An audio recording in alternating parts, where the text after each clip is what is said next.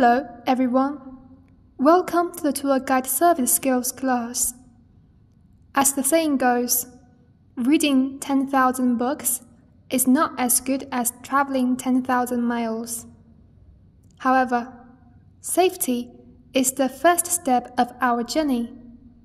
In order to arrange the team smoothly, taking transportation means and travel safely, we can roughly divide the services of taking planes, ships, and cars into three service processes preparation before taking, service during taking, and arrangements after taking. Before we go out, first of all, we should read and think carefully about the tourism reception plan and understand in detail and accurately the travel standards and the requirements of the tourist group. When the tour guide leads the group to take any means of transportation, tour guide must be the first to get off and the last to get on. This is convenient for taking good care of the tourists. The tour guide must leave sufficient time when leading the group to reach the airport, train station, and the pier.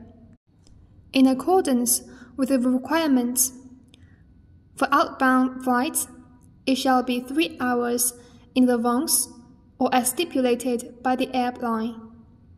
For domestic flights, it shall be two hours in advance. For trains and ships, it shall be one hour in advance. Requirements for in-flight service 1. Check the ticket information. Confirm the cut-off time for check-in procedures. Domestic flights 30 minutes earlier and international flights 40 minutes earlier. Understand the matters needing attention when taking the flight and arrive at the airport on time to wait. 2.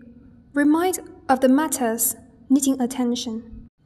Tourists can only bring one piece of carry on item with a weight of 5 kilograms and a volume not exceeding 20 centimeters multiplied by 40 centimeters multiplied by 55 centimeters.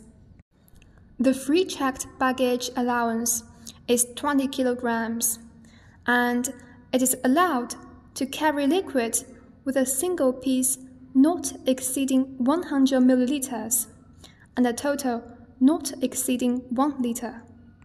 Exceeding it requires checking in, and it is allowed to carry two charging power banks not exceeding 20,000 milliamperes, but they cannot be used on the plane.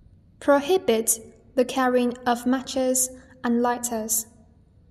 Forbid to check in valuable items, fragile and perishable items, electronic products, charging power banks, and items containing lithium batteries. 3. Boarding procedures. Bring your air ticket, ID card, boarding pass, go through the security check, and wait for boarding. 4. Persons who have experienced air sickness can take air sickness medicine in advance. When there is a reaction, remind tourists to close their eyes and rest. 5. Follow the arrangements of the flight attendants and listen to the introduction of safety knowledge. 6. Order disembark. Pick up the luggage and if there is any damage, register for compensation in a timely manner. In addition, the tour guide should try to choose a seat by the aisle for the convenience of taking care of the tourists. After getting off the plane, one should rush to the exit of the station first in order to conveniently connect with the local guide who comes to greet. Requirements for on-board service by ship. 1. Pay attention to the weather forecast. In the foggy season and typhoon season, long distance navigation should be avoided, and tourists should also be reminded to arrive at the port 60 minutes in advance. 2. Check the ticket surface, and verify the information. When taking the coastal and Yangtze River passenger ships, you can carry luggage with a total weight of 20 kilograms and a total volume of 0.3 cubic meters for free. For other inland river passenger ships, the free baggage allowance is respectively 20 kilograms and 10 kilograms. 3. When boarding the ship, it is required to be slow and steady and must not cut in. 4. After boarding the ship, watch the safety promotional video and give safety reminders, including the placement location of the life jacket, the explanation of the wearing method, and so on. 5.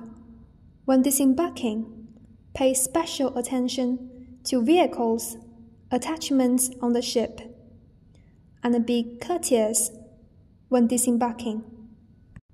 Requirements for train service 1. After purchasing the ticket, check the information on the ticket service 2. After arriving at the station, listen to the broadcast and the calls of the staff to avoid missing the train.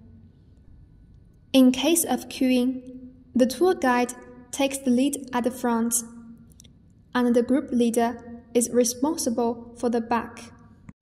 3. After getting on the train, find the proper berth or seat. If unable to find it, you can ask the conductor for assistance. The tour guide should try to arrange themselves in the berth or seat located in the middle of the tourists, and often walk around to take care of every tourist. When allocating the positions, try to assign the families, husbands and wives, and couples together. 4. Remind tourists to move their bodies to prevent discomfort.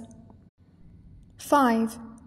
Pay attention to the broadcast on the train and make preparations for getting off the train in advance.